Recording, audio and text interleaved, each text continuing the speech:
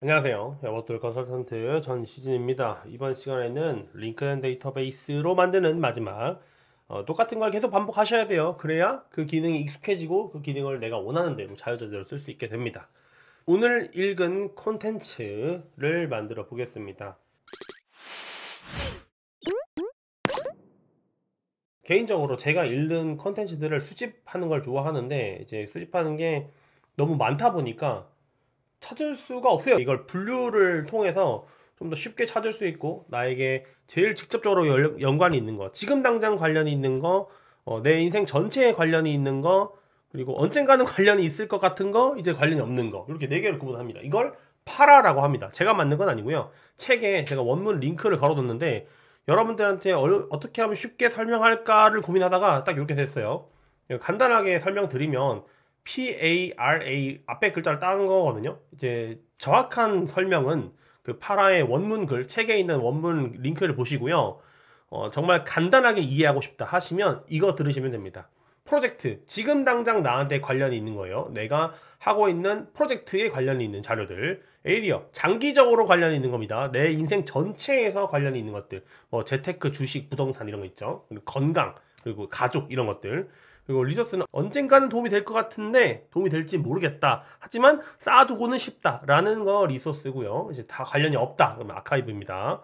여기 있다가 여기로 갈 수도 있고 여기 있다가 여기 튀어나올 수도 있어요. 하지만 이거는 관련이 없는 거다. 이제 자료로서의 생명이 끝났다. 이렇게 보시면 됩니다. 그렇다고 지우기는 또 아까우니까 아카이브 해두는 거죠. 그래서 이렇게 4개 파라라는 시스템으로 구분을 해서 쓰고 있고요. 여러분들도 이거 쓰시면 좋을 것 같아서 함께 가지고 왔습니다.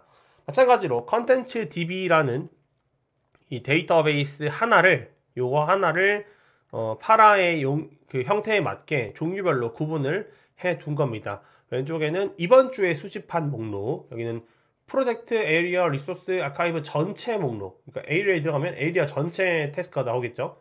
어, 아카이브에 들어가면 아카이브 전체 목록이 나오게 됩니다. 그리고 이번 주에 수집한 프로젝트 area resource 아카이브 이렇게 만들어져 있습니다. 한번 만들어 보시죠.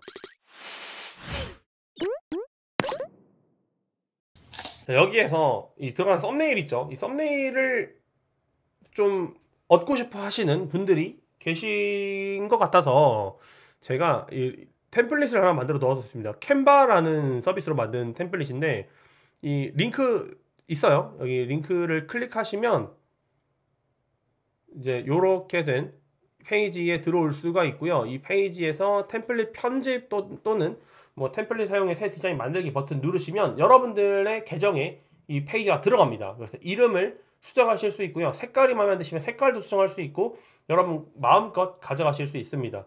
그래서 템플릿 편집을 눌러서 캔바에서 열면 이런 화면이 나와요. 로그인까지 하셔야 돼요.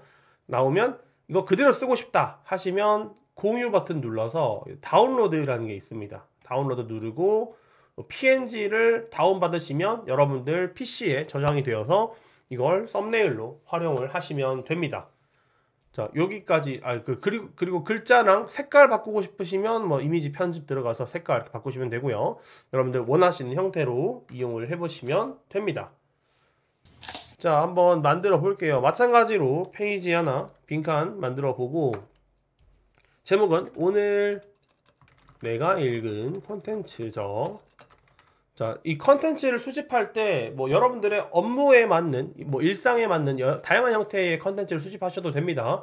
뭐 주식만 수집하시겠다 하시면 주식에 관련된 정보만 수집을 하셔도 되고 원하는 형태로 이 PARA라는 시스템을 반드시 이용하지는 않으셔도 돼요. 여러분들 원하시는 걸로 하시면 됩니다. 전체 너비 해주고요. 복제를 해줄 겁니다. 이제 컨텐츠 DB가 이미 만들어져 있기 때문에 저는 여러분들 똑같이 하시면 돼요.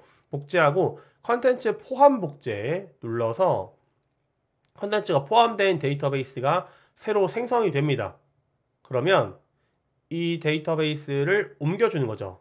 여러분들이 수, 그 실습할 페이지로 옮긴 다음에 저는 이동을 하면은 여기 하나 들어와 있죠.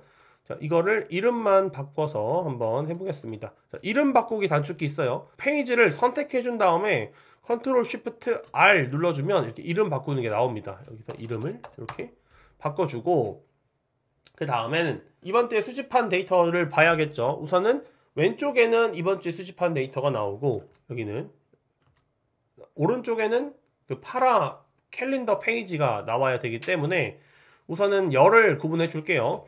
숫자 1과 2를 쓰고 두 개를 다 선택한 다음에 메뉴 버튼 그리고 열 눌러줍니다. 데이터베이스에 링크를 복사한 다음에 숫자 1에다가 붙여넣고 똑같이 해요. 2에다가 붙여넣고 둘 다 붙여넣은 다음에 바꿔주면 되니까 제목을 숨기고 얘는 저는 리스트로 많이 바꿔줍니다. 이 제목이 중요하죠. 제목이 중요하기 때문에 페이지로 레이아웃을 리스트로 바꿔주고요. 그 다음에 필터를 이제 걸어주는데 필터에서 created time 그러니까 생성한 날짜가 언제냐를 해줍니다. 근데 저는 지금은 이거 잘 보셔야 돼요. 저는 이걸 페이지를 방금 복제해 왔잖아요. 그래서 전부 오늘 날짜로 이게 생성이 된 거기 때문에 이거 필터를 걸어도 다 오늘 날짜일 겁니다. 그래서 오늘 기준으로 이번 주 오늘 날짜로 이번 주로 다 뜰 거예요 이게. 전부 다 오늘 생성한 거기 때문에. 그래서 온, 지금 제 필터만큼은 날짜로 하겠습니다. 원래는 create time을 하는 게 맞아요. 날짜를 이번 주로 하게 되면 이렇게 이번 주에 수집한 목록이 나오죠. create time을 하시는 게 맞아요 원래는. week로 하고 오른쪽에는 색깔 좀 줄여주고. PARA라는 그 썸네일이 나오게 할 겁니다 오른쪽에 보시면 파일과 미디어라고 해서 이미지 썸네일이 들어간 게 4개가 보이죠. 이게 PARA라는 페이지를 만들어서 area, 프로젝트, 아카이브, resource 만들어서 썸네일 넣어둔 거거든요. 그러면 필터를 어떻게 하냐? 이 파일과 미디어에 썸네일이 있는 것들만 보여주면 되겠죠. 그래서 보기를 갤러리로 해주고요. 갤러리에서 필터를 걸어줄 거예요. 일단 카드 미리 보기를 파일과 미디어로 한 다음에 카드 크기는 중간 맞고요. 다 똑같고 페이지 보기를 사이드 보기 한 다음에 필터를 걸어줍니다. 필터를 파일과 미디어에서 이제 비어있지 않음으로 필터를 걸어주면 프로젝트 area resource 아카이브만 나오게 됩니다. 이렇게 저는 해주고 카드 크기를 뭐 크게 하셔도 되고 작게 하셔도 되고 여러분들이 원하시는 형태로 선택하시면 됩니다.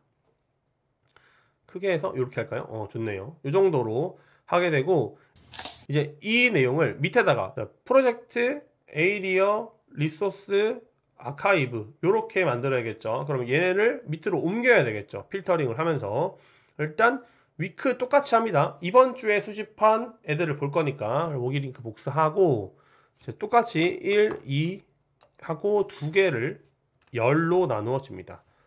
전환에 열 해주고 1 지우고 컨트롤 V 2 지우고 컨트롤 V. 그럼 똑같이 해요. 이 두 개. 1, 2 하고 열 해서 1 지우고 컨트롤 V 2 지우고 컨트롤 V. 이런 식으로 해줍니다. 이제 필터를 바꿔주기만 하면 되겠죠. 필터 추가해서 PARA가 PARA에서 프로젝트가 얘고요 그럼 여기는 이름을 프로젝트로 해도 되고 아니면 위에 블록 하나를 새로 추가해서 프로젝트 이렇게 해주셔도 됩니다. 편하신 대로 여러분들 편하신 대로 해주시면 됩니다. 저는 이렇게 내용을 좀 크게 알아보기 위해서 블록을 넣을게요. 그리고 여기는 area 여기는 resource 여기는 아카이브 하고 필터를 또 바꿔주는 거예요. 필터 추가해서 PARA의 area 필터 추가해서 PARA의 resource 필터 추가해서 PARA의 아카이브까지 해주면 4개가 되고요.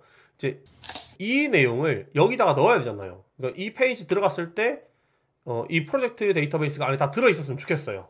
그럴 때에는 제가 미리 만들어 놓긴 했는데 이 복제를 하셨으면 있을 거예요. 그래도 해보면 프로젝트를 클릭해서 프로젝트 페이지 안에 들어옵니다. 그리고 기존에 있는 거는 지워줄게요. 컨트롤 V 하고 연결된 데이터베이스 보기 한 다음에 지금 필터가 이번 주도 걸려 있죠. 프로젝트는 그대로 두고 그럼 이번 주만 지워주는 거예요. 그러면 이번 주에 관계없이 프로젝트라고 된 아이들은 여기서 한 번에 쫙 다 볼 수가 있고요. 똑같이 area도 보기 링크 복사하고 들어와서 얘는 지워요. 이렇게 붙여놓고 어, 이름도 지워줍니다. 이 스페이스바 한 칸 띄우면 빈칸이 됩니다. 필터에서 이번 주만 지워요. 그러면 area만 볼 수 있죠. resource도 지우고 이름 다 지우고 스페이스바 한 칸만 하는 겁니다. 그리고 이번 주도 지우고 마지막 아카이브 와서 이름 지워주고 필터 지워주고 이렇게 하면 이제 컨텐츠 아카이브가 쉽게 만들어 볼 수가 있습니다. 자 여기서 정보를 수집할 때 그 Save to Notion이라는 서비스를 활용해서 정보를 쉽게 수집할 수가 있는데요. 어, Save to Notion에 관련된 내용은 책에서 한 번 더 살펴보시고요. 좀 더 내용을 어, 궁금하시다 하시면 이 영상 안녕하세요. 있어요. 제가 제 영상 중에 독서 기록 관련된 영상이 있어서 41번 이 영상을 살펴보시면 Save to Notion을 좀더 잘 활용하실 수가 있습니다. 이번 영상은 여기까지. 저는 다음 시간에 다시 돌아오겠습니다. 안녕.